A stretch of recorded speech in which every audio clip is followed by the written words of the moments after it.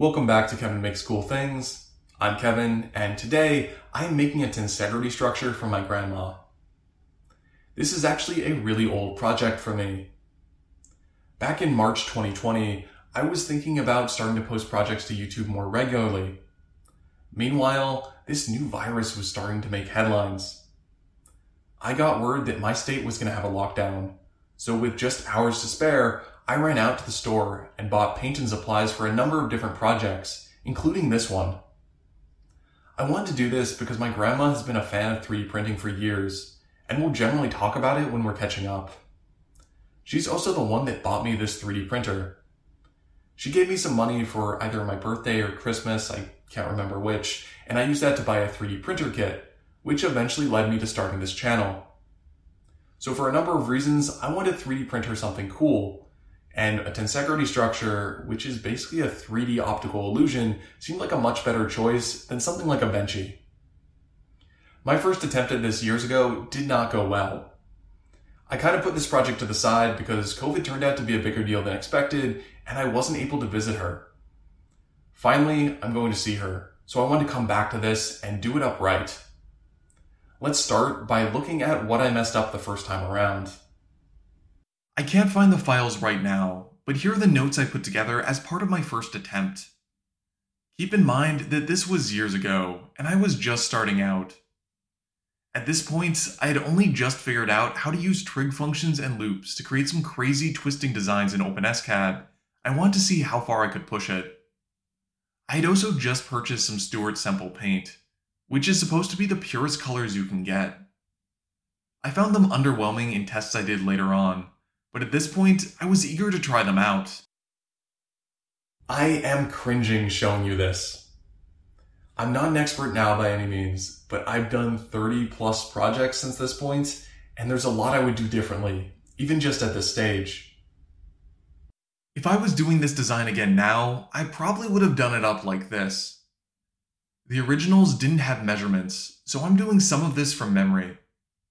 My big issue with my last sketch was that it didn't have shading or outlines, so it did a decent job of showing how the colors went together, but from a practical standpoint, it's hard for me to tell what I'm looking at. The colors and the twisting design was meant to look trippy, but looking back, it just looks garish.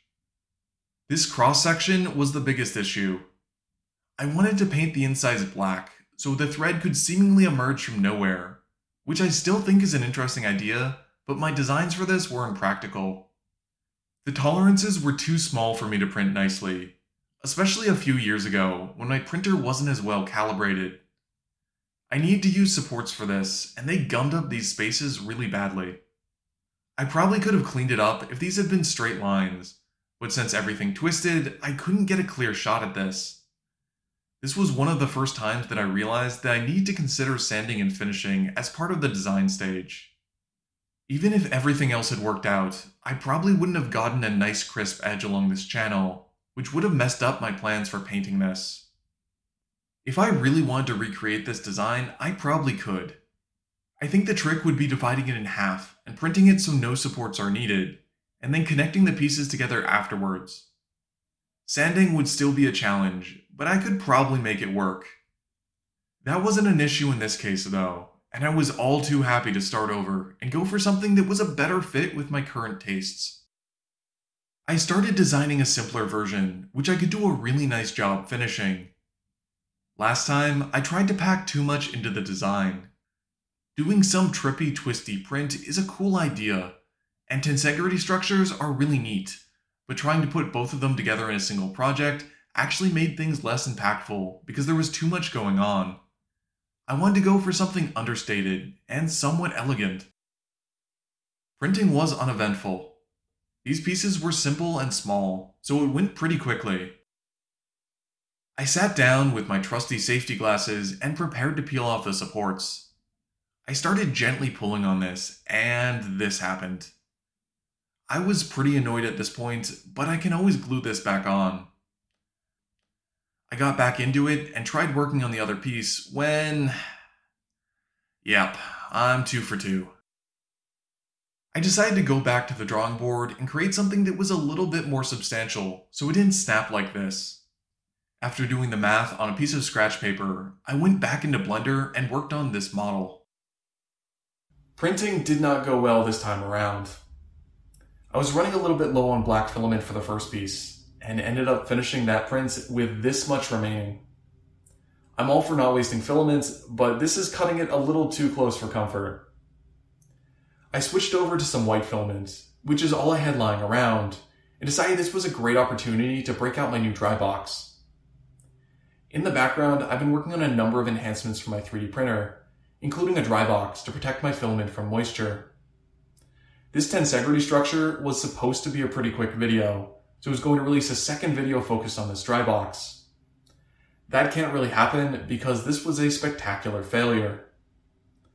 I spent an entire day fiddling with this, but eventually I left the room for maybe 10 minutes, and when I came back, my 3D printer had fallen off a table. As best I can figure it, the dry box somehow fell off the table, got wedged underneath, and then as my printer was pulling on a filament, it managed to leverage itself off the table and onto the floor. Thankfully, everything still works, although I will have to go back to the drawing board with the dry box. Long story short, took me two days and a lot of frustration to print two very simple pieces. After successfully removing the supports, I drilled out the holes. This ended up going a little bit smoother on the white one, so that's going to be the piece I try to put on top.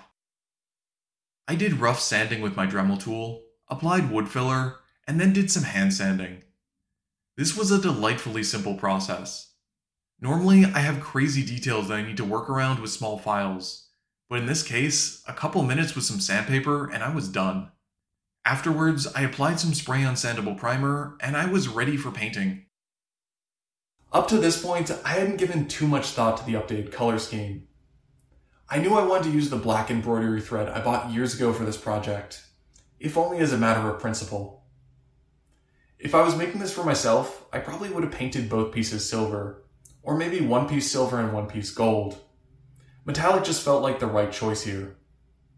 Since this is for my grandma, I asked around and heard she liked turquoise, so we started looking for some turquoise metallic paint. I did some searching and found that Folk Art has a metallic turquoise paint, which was exactly what I wanted, but on Amazon it was nearly $7. I generally see this for 3 bucks in stores, so this felt like a total ripoff. I chuckled to myself and wondered what chump would overpay like this. But then I checked my calendar and realized I wouldn't be able to get this project finished before my trip if I waited and went to the store myself. $7 later, this was on its way. As much as I'll grumble about the price, the paint worked really well. I've been using folk art metallic paints for years at this point, and I've never had a single issue. After letting everything dry, I went ahead and rigged this up. I was going to do some close-up footage and talk about all my tips and tricks for doing this, but I don't really have any. My plan going into this was to tie a pretty substantial knot at the bottom, and then tie a second small knot up here, where I thought the second knot would go. Then I could thread that through and use that small second knot as a guide for tying a more substantial knot. That did eventually work, but I had to redo this three or four times, so trial and error played a big part of my success. One thing I did learn is pay special attention to the central line. I recommend doing this first, because if you try to do it last, it will not work. Believe me, I tried. This is also where most of the pressure is, so make sure your knots are especially substantial. There's a little bit of give to this embroidery thread, and two separate times I had my knot pull through this tiny hole, and I had to redo everything over again. That's pretty much it, and all I have left is to give this to my grandma. I'll post all the files on Thingiverse in case you want to make your own. As always, if you enjoyed the video, then give it a like or leave a comment. And if you want to see more of my work, go ahead and subscribe to the channel. Until next month.